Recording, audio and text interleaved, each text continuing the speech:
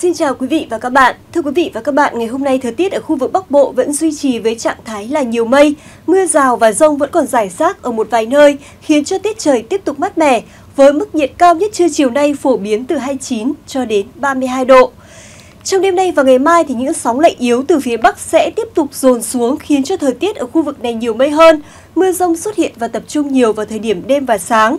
Tại các tỉnh vùng núi của khu vực phía Đông Bắc Bộ như là ở Lào Cai, Hà Giang, Tuyên Quang, Cao Bằng, Lạng Sơn cần hết sức đề phòng các hiện tượng thời tiết nguy hiểm có thể kèm theo như là rông, tố lốc, mưa đá, gió giật mạnh gây nguy hiểm.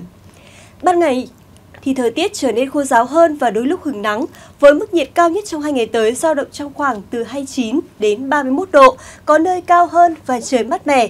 Riêng ở các tỉnh phía Tây Bắc Bộ thì nền nhiệt có thể sẽ cao hơn từ 1 cho đến 3 độ, thậm chí một vài điểm còn đạt ngưỡng nắng nóng.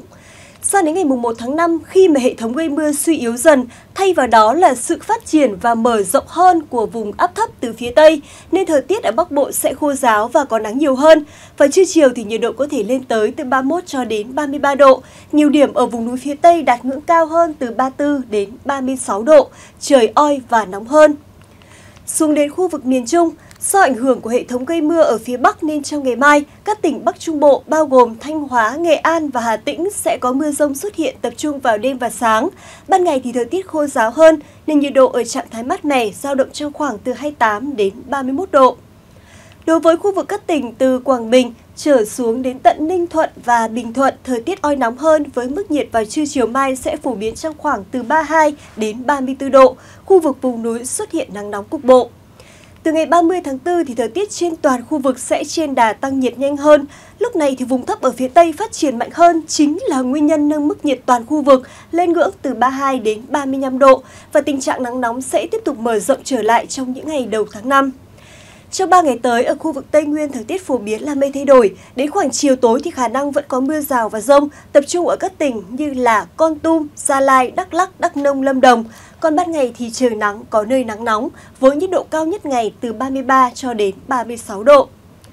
Còn tại khu vực Nam Bộ trong những ngày tới, tình trạng nắng nóng vẫn tiếp tục duy trì, đặc biệt là ở các tỉnh miền Đông, mức nhiệt độ phổ biến vào khoảng từ 34 đến 37 độ, có nơi còn sấp xỉ là 38 độ.